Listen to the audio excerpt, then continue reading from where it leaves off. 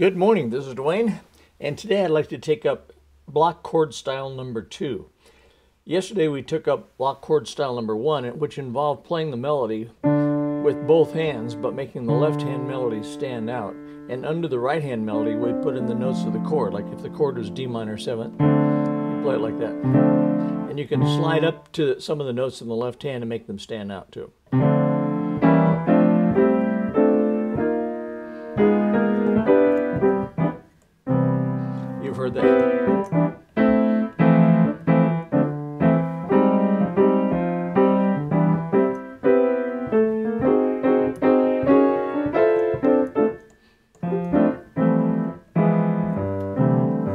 Usually it's combined with some, something in the left hand if you're not playing with a bass player.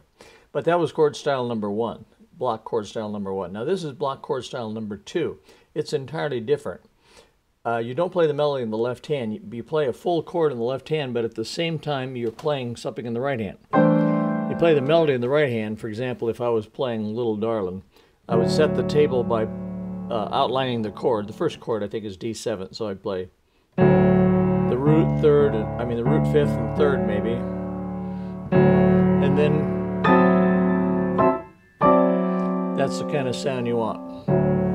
My left hand is playing chords at the very same time my right hand's playing the melody in octaves. And notice in the right hand I play an octave, but I fill in a note in between and slide off a middle note to get a little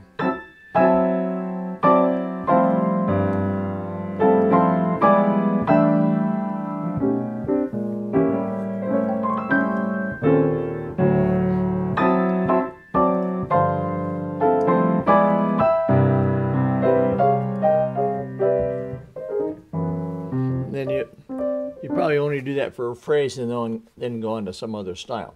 Okay, but that's block chord style number two. So again, let's out, let's outline what it's made out of. In the left hand, you play the full a full chord of some sort. Depends what the chord is, of course. If it's D minor seventh, you can play it that way. And the more color tones you can jam into it, the better. For example, say the melody is E and the chord is D minor seventh. You get a big sound that way if you play it at the same time. And then sometimes slide off a middle a, a middle black note onto a white key. You can do this.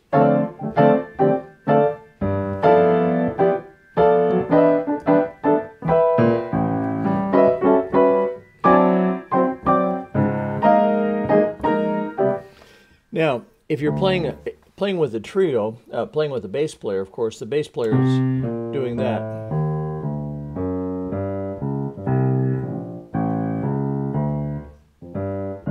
And so on, right? He's laying down the bass, but you don't. If you're playing solo, you don't have that uh, that bass. Uh, so you have to supply a low note on usually on the first beat of a measure. Not always, but sometimes. Like I set the. That's called setting the table. I set the table by playing the root third and fifth. Before I come up, I push down my pedal, by the way, sustain pedal, and then come up and play the block chord like that.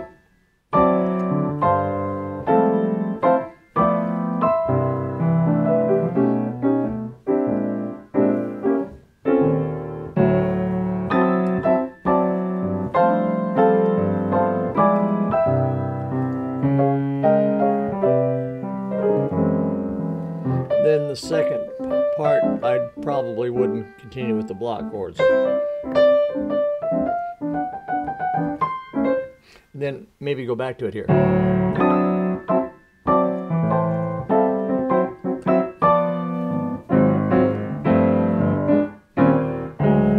Whoops, sorry. When I played with the trio, I used that style all the time. Uh, when you play solo, you don't use it too much, but it's awfully good to know because you can get a big sound that way.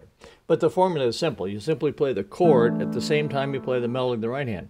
Melodies in octaves for a big sound, and uh, the chord is jamming as many color tones as you can into the chord, whatever you like, the sound of. If you like C6 or C major 7th, you could do that. Uh, and then, like I say, sometimes slide off a, a, black key in the middle. It gives a little click to the to the uh, sound. Okay, let's see.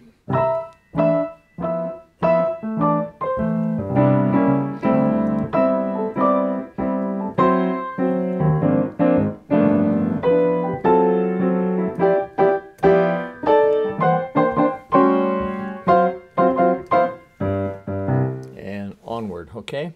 So you can use that part of the time, but certainly not all the time. But it's just one of the styles you ought to have in your bag of tricks. So that's it for today. If you enjoy this kind of thing, come on over to playpiano.com and sign up for the series of piano tips, and you'll get a video or an audio or a lesson of some sort most every day. Okay, thanks for being with me, and we'll see you tomorrow. Bye bye for now.